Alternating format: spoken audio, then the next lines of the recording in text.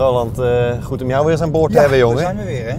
Hey, het, eh, het was met een weekje wel. Ik wil, eh, ik wil even op iets terugkomen wat eh, ja, niet helemaal meer heet van de naald is, maar toch heel gaaf en heel belangrijk voor Ja. eh Racing Nederland. Ah, Guido, hè? Guido, ja. Eindelijk. ja. Zullen we anders gewoon eens even bellen? Ja joh, ik kan het altijd proberen, toch? Eens kijken. Op de bluetooth van de V40. Hallo? Guido? Ja, Ja, met eh, Roland en Michiel van Autoweek spreek je. fijn. Goedemiddag. Goedemiddag. Hey, goedemiddag. Hoe is het? Ja, goed. Het eerste weekje testwerk in Geres achter de rug nu. Ja, Hoe, eh, hoe bevalt de auto? ja maar goed. Ehm, hij is in eh, bepaalde punten best sterk. En vooral de, de, de voorkant van de auto ziet er best goed uit. Ja. Eh, de achterkant van de auto hadden we wat problemen op de eerste dag. Eh, maar s'nachts hadden we wat dingen veranderd in de setup. Maar voor de tweede dag eh, was het al een stuk beter. Hey, en eh, heb je eh, het nieuws al een beetje een plek kunnen geven? Ik kan me voorstellen dat je de afgelopen week natuurlijk behoorlijk geleefd bent. Ja. Ah ja, weet je, ik, blijf uh, Hollander. Je, je, je, je klinkt niet erg gestrest, eh, Guido. Nee, dat ben ik ook niet. Ik ben, eh, eh, ik, ik ben al. Ik heb al heel veel dingen meegemaakt in mijn leven. En, eh, ja, het heeft geen zin om, om stress te doen, om door gestrest door het leven heen te gaan. Door uiteindelijk leef je maar één keer. Je moet het beste eruit halen wat erin zit. Maar stress heeft geen zin. Hey, te gek, eh, dankjewel dat je van de telefoon wilde komen Guido. Eh Autoweek gaat je natuurlijk eh, volgen het komende seizoen. Heel veel succes, succes nog met je, met je trainingen. Komt goed. En Jullie ook succes. Maak ons trots man, succes hè. Ja, Hoi, hoi. thanks, hoi, hoi. En verder, wat was er nog meer deze week eh, in het nieuws? Wat mij betreft was het de week van ehm, de rare Franse faceliftjes.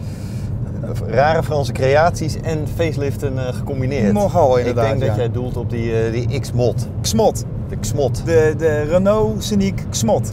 Ja, Wat eigenlijk, een eigenlijk op wielen is dat zeg. Ja, maar het is een soort, eh, soort reïncarnatie van die RX-4, hè? Ja. En, die- en die vorige, hoe heette dat ding? Conquest? De Conquest. Conquest, ja. ja. Ik heb een tijd lang bij een Renault dealer gewerkt toen de RX-4 nog in, eh, in productie was. En dat was echt verreweg de slechtste auto die wij in de, in Oh. de showroom hadden staan. Oh, dat geeft hoop. Wat een absoluut waardeloze eh, hok. Maar deze ook, zeker in die persfoto's, die kleur, weet je, zo fel en dan die bumpertjes erop. Ja, maar joh. Ja. Weet je, dat zijn- een auto eh, leuk, leuk voor het imago. Worden er eh, een handjevol van verkocht per jaar. Ja, Die Scenic, daar gaat het om. Die is ook eh meegelift. Precies. Die is gefacelift. ja. Maar hey, wat, wat ik echt een gaaf ding vind. Het andere Franse snoetje, Ja, die Picasso joh. Ja. Wat, een, wat een ding. We hadden hem al eens als illustratie gehad in het blad. inderdaad. Toen dacht, toen dacht ik al van nou, gewaagd, gewaagd. Wie heeft hier de verkeerde middelen gebruikt? Ja, maar hij, hij wordt dus gewoon echt zo Ja. dat front met die, met die hele smalle koplampjes. En eh, ja, echt, echt Citroën. Ja. Ik vind het wel stoer hoor. Want eerst eh, hadden we al een, eh, inderdaad een Spice Shop deze week. En, die, Ja. en vanmorgen dan die, dat, het officiële persbericht met de, dat, de, de- het studiemodel van de ja, auto. het wordt dan dus eerst gaat. een studiemodel, die gaan ze op Genève laten zien. Nou ja goed, we, we hebben het ding al in het echt zien rijden. Zo Ja. wordt hij dus gewoon. Ja. Dus die lampen die blijven erop. En ja, eh, kijken of het aanslaat. Maar ik vind het, eh, ik vind het gewoon een hele goede set van Citroën. Dat is wat dat merk moet doen. Exact, Gewoon afwijkende dingen maken. Want eh doorsnee rommel hebben we al genoeg. exact. Zo is dat. Hallo politie. Dag. Keurig twee handjes aan het stuur. Ja, hoor. 109 km per uur mag prima. BMW ook weer een nieuwtje natuurlijk deze week. Wat vind jij van de 3-serie GT, Michiel? Dat vind ik nou echt een prachtauto. Toch op serieus? Ja, schitterend ding. Oké.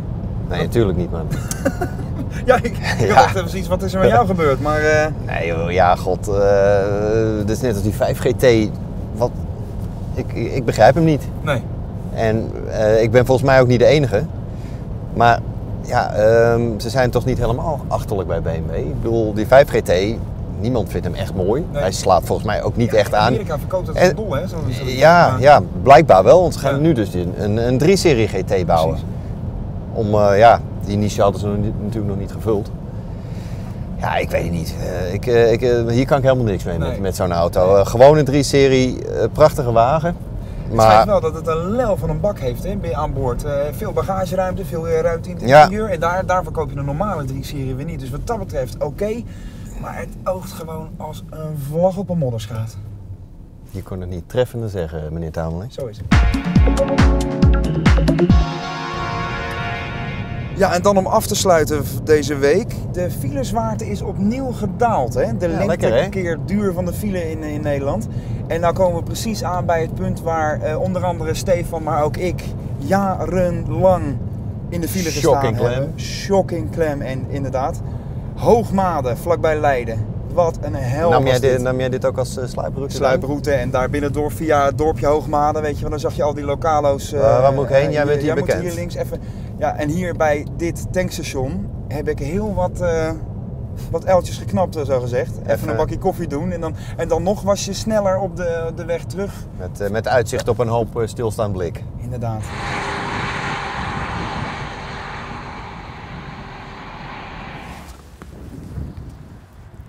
Zo jongen. Kijk, tegenwoordig rijden het tenminste allemaal door, hè, zoals het hoort. Het ziet er lekker uit hoor. hey, kassie. Ja, Flitskassie. Ja, dat eh, zou je denken, maar dat jou is wel een keer te grazen gehad? Niet eens. Je zou denken dat het een flitskast is, maar het is een doseerinstallatie. Er stonden al die auto's hier te wachten totdat ze eindelijk dat krappe kruispunt op mochten. Maar eh, ja, het heeft duizenden euro's gekost om het neer te zetten. Maar tegenwoordig hoeven we het niet meer te Ja, gebruiken. goed bezig hoor. Dus je ziet Ja. Nederland, de enige manier om geld te besparen is ons, om ons door te laten rijden. Gewoon lekker rijden.